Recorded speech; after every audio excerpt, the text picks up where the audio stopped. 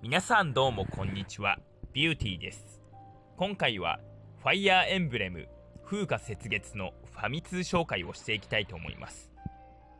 人間同士の戦いをメインとして描くファイヤーエンブレムですが時折魔獣と呼ばれる呼ばれる巨大な生物が存在します。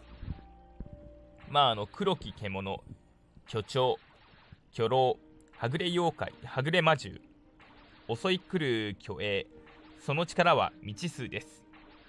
当然人間よりもパワーはあるはずですからね。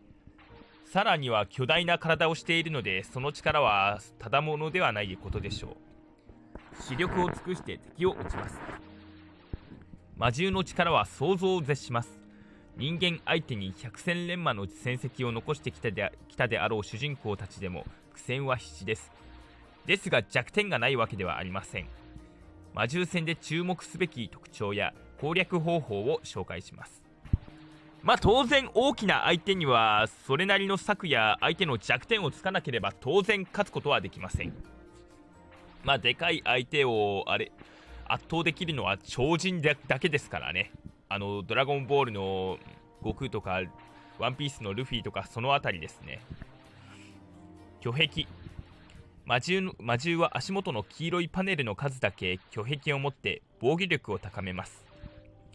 これを破れば形勢逆転です。さらに魔獣にはヒットポイントにストックが存在します。現在のヒットポイントをゼロにしても倒すことができなくてストック分の全て削る必要があります、まあ、スマブラのストックみたいなものですねこれは。計略で誘い出します。騎士団を率いているユニットの計略を使うと魔獣の注意を引くことができます。魔獣の障壁を打ち破ります。まあこれはさっき言ったところですね。まあ障壁を障壁を壊すと守りが弱くなるほか魔獣が混乱して一度だけ反撃を封じることができます。混乱状態には攻撃のチャンスで大ダメージを与えられます。魔獣の猛撃に注意しましょう。命を削り取る強力な一撃。範囲攻撃で形勢逆転もできます。まあそうですね。やはりあの強烈な攻撃をすることはもう巨大生物に戦うための必需、必要、必須項目ですからね。まあ巨大、巨大な化け物と戦うというと、まあドンキーコングもそうなんですよね。まあドンキーでさえも人間よりもはるかに優れたパワーとスピードを持っていますけどね。まあ、それでも、まあ、あの、弱点はついてますね。あと、何回も攻撃してますね。まあ、人間だったらなおさらですね。まあ、巨大な猛獣と戦うには、やはり弱点をつく必要がありますからね。あの、進撃の巨人でさえも弱点をつかなければ倒せませんからね。まあ、それでもまあ、かなりのパワーとスピードを持ってますからね、進撃の巨人も。まあ、あとは兵器を使ってようやく倒せるみたいな。